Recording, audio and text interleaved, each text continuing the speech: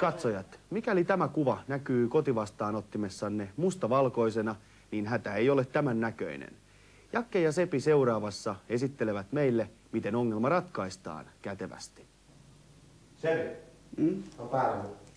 Joo.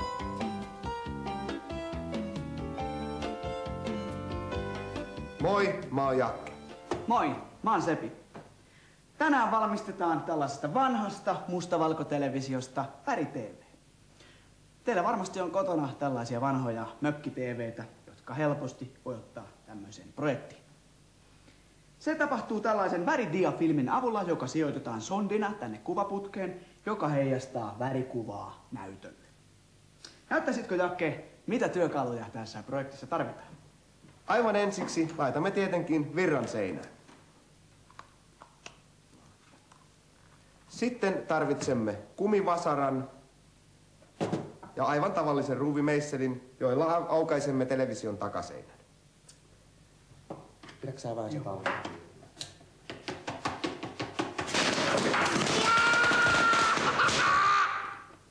Tuliko sinne kuva? Ei tänne. Ensi viikolla rakennamme radio.